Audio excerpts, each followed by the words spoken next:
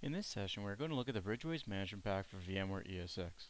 This management pack is built to monitor your ESX and ESXi based environments with full support for VI3, 3.5, and vSphere.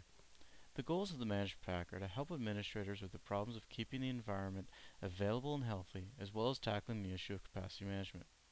Ensuring that the resources being allocated to the virtual layer are not being over or underutilized is very important to ensuring you are getting the most out of your virtual infrastructure. In order to monitor VMware, we use a service that maintains a persistent connection to vCenter or standalone hosts through the VI API. This is done because SCOM agents are stateless, which can result in many connects and disconnects from the API, and this leads to a large burst of data flowing over the network. The service itself lives on an agent-managed server or directly on a management server. The data collection is fully scalable for large environments through filtering, which allows you to use multiple collectors connected to a single vCenter or several vCenters and scope the data collected to specific clusters or hosts. The Management Pack is designed to give you both high and low level views in the environment.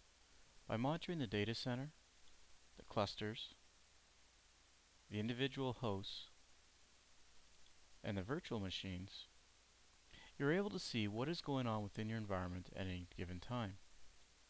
By providing additional details around the resource pools and the data stores, you can see how the resources are being allocated and whether or not they are becoming strained handling the load they are under.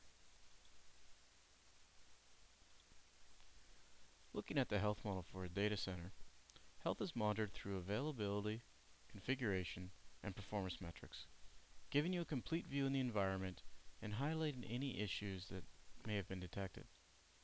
For example, looking at a host availability, we can see that one of the drives has become degraded.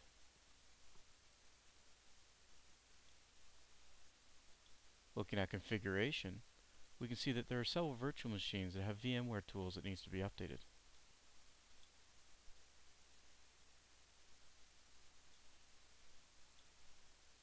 Moving on to performance, we can see that we have virtual machines where the guest disk is overused, as well as one virtual machine where the balloon driver is running a little too hot. For each monitor, we have detailed knowledge base articles that describe what the monitor is, why it would be alarming, and to how it go about fixing the errors being reported. This KB is crucial to effective triaging of issues because whether you are a VMware expert or not, the knowledge base helps you determine where to send the issue for further investigation. Another important feature of our monitors is the ability to override.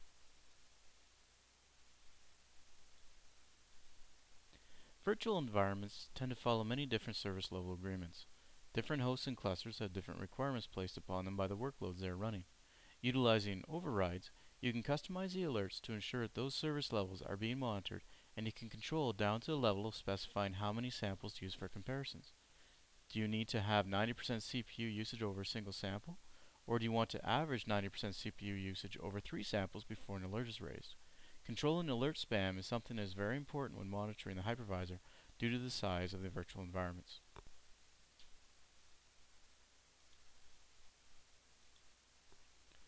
Looking at the performance side of things, performance is broken down by components. You can see performance metrics around the clusters, the hosts, and the resource pools, Providing you the information is crucial to being able to see how your resources are being utilized. Using the resource pool memory capacity as an example, we're able to see information around exactly how the memory is being consumed in this resource pool. You can see how much memory has been given out to virtual machines with this pool memory consumed, as well as how much of that memory is actively being used by the virtual machines associated with the pool. This gives you a very good indicator of whether or not you can bring additional VMs up within this resource pool. In our case here, we have one resource pool with 50 gigabytes of memory allocated, but only 10 gigs, which is actually being used. Looking at the performance metrics around the virtual machines themselves, we can track things like the DRS rating, which is telling us whether or not there's virtual machines having troubles finding homes. If the DRS rating is constantly spiking up into the 3 and 4 star level, then you know you have a virtual machine that's having a hard time finding a, a host machine that can handle its resource load. Additionally, we could look at the memory consumption of the individual virtual machines. Find out whether there's virtual machines that have large balloon driver usages, or a lot of memory being swapped out. More important to the swap out is whether or not it's constantly being swapped in and out of the virtual machine, telling us that we're having memory contention issues. Another common metric that will be looked for with virtual machines is, of course, CPU usage. With the management pack, we do calculations that vCenter does not do. Using CPU ready time as an example, in vCenter this is reported as a raw value.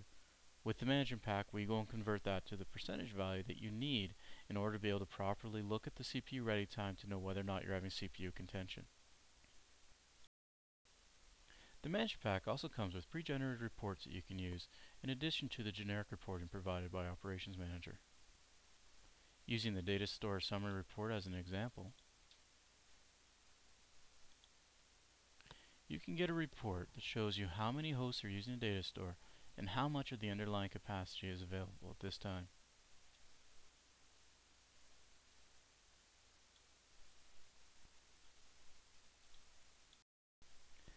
Bridgeways Management Pack for VMware is a necessary tool when it comes to monitoring and maintaining your virtual environment.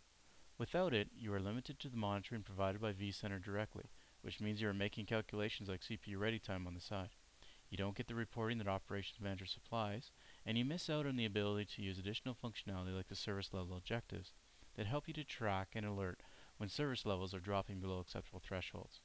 With the Manager Pack, you can be certain that you have the tools you need to get the most out of your investment in virtualization.